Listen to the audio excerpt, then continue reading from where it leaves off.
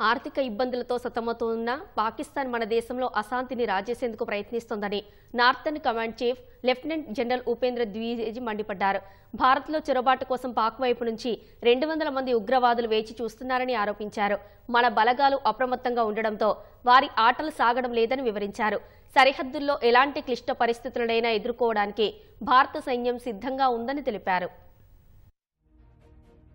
సరిహద్దుల్లో మరోసారి అలజడి సృష్టించేందుకు Pakistan ప్రయత్నిస్తోందని northern command chief lieutenant general Upendra Dwivedi తెలిపారు. సరిహద్దుల్లో ఎలాంటి క్లిష్ట పరిస్థితులనైనా ఎదుర్కోవడానికి భారత సైన్యం సిద్ధంగా ఉందని వ్యాఖ్యానించారు. జమ్మూ ఐఐటిలో నిర్వహించిన నార్త్ టెక్నో సింపోజియం రెండు వేల ఇరవై మూడులో పాల్గొన్న ఆయన పాకిస్తాన్ చైనా సరిహద్దుల్లో ఎలాంటి ఉద్రిక్తతలు తలెత్తినా ఎదుర్కోవడానికి భారత సైన్యం సిద్ధంగా ఉందని చెప్పారు. అక్రమంగా చొరబాటుకు యత్నిస్తున్న ఉగ్రమూకలను సమర్థవంతంగా అడ్డుకుంటున్నామని తెలిపారు. ప్రస్తుతం లద్దాఖ్లో సాధారణ పరిస్థితి కొనసాగుతోందని అంతా బాగుందని వివరించారు. రాష్ట్రీయ రైఫిల్ దళాలు ఉగ్రవాద నిరోధక కార్యకలాపాల్లో చురుగ్గా పాల్గొంటున్నాయని ద్వివేది తెలిపారు.